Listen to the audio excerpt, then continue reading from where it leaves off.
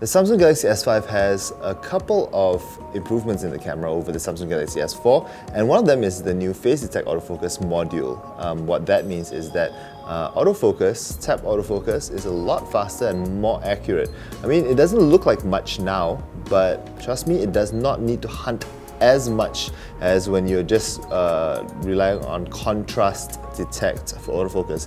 I'm just going to point it point away from the camera at the moment to get a lock on something else bring it back, and it just focuses. I'm to point it down on the floor, bring it back, and it will focus quite accurately. So as you can see, that is pretty cool, especially you know when you have those cameras where you just hunt and hunt and hunt and it doesn't lock on properly and you'll never get the picture.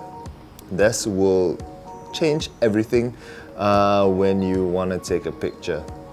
One of the other features of the Samsung Galaxy S5 is this selective focus mode. So it says select an object to be focused that's less than 50 cm away from the device. So I'll select the closest bear brick and I'll take a picture.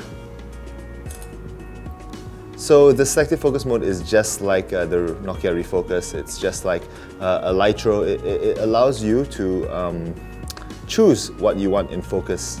So you can see near focus, click that, a refocus to far focus, or you can do pan focus, which is everything in focus.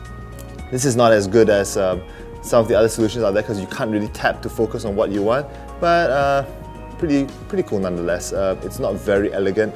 I think it'll be better in the future iterations of this uh, software. Right, so one of the other features of the Samsung Galaxy S5's camera is the new HDR mode. So this HDR mode is a little bit different from anything you are used to seeing, like uh, the iPhone 5s or any other HDR mode you've seen.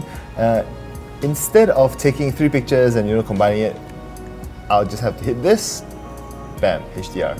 It's called the rich, it's in brackets rich tone, so it actually gives the HDR effect already just like that. So it's pretty cool. So I'll just take two pictures, one of the non-HDR and one HDR and you can see them on the screen now. So you can see it is quite a big difference. And also cool is that once you hit this, there you go, you're recording in HDR video.